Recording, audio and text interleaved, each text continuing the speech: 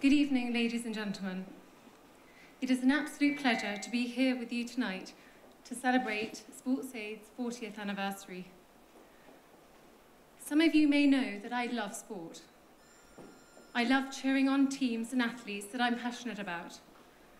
I love the physical challenge sport presents and the mental strength it gives us all. And I love the way it so often brings people together to work as part of a team. I suspect many of you in this room may feel the same. The brilliance of SportsAid is in really understanding just how much athletic competition gives to our country as a whole.